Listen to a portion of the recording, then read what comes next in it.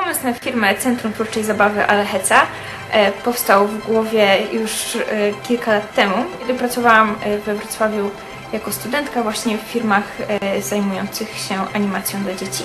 I wtedy właśnie, kiedy wiedziałam, że wrócę do Świdnicy, pomyślałam, że warto by było spróbować czegoś na własną rękę.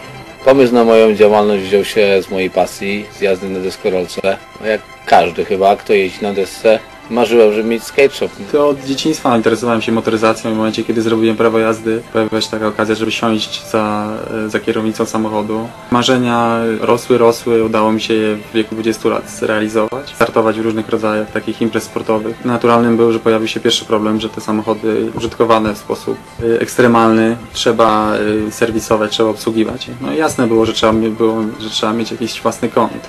O całym konkursie, o debiucie gospodarczym dowiedziałem się od mojej mamy. Powiedziała, że jest taki i taki konkurs w Urzędzie Miasta i warto byłoby spróbować. Generalnie śledziłem jakiegoś czasu wszelkie możliwości rozpoczęcia działalności na, na własny rachunek. Skontaktowałem się tam w, w wydziale uprawnionym do organizacji tego konkursu. Dowiedziałem się, jak, jak przebiega kwalifikacja, ile osób jest chętnych, jakie są ewentualnie możliwości do tego, do tego żeby, żeby zacząć działalność.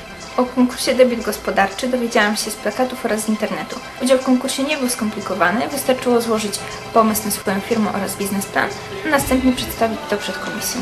Sam konkurs jest y, piękną inicjatywą miasta i na pewno y, jest w stanie zapalić jakąś iskierkę y, w wielu, wielu młodych przedsiębiorczych ludziach.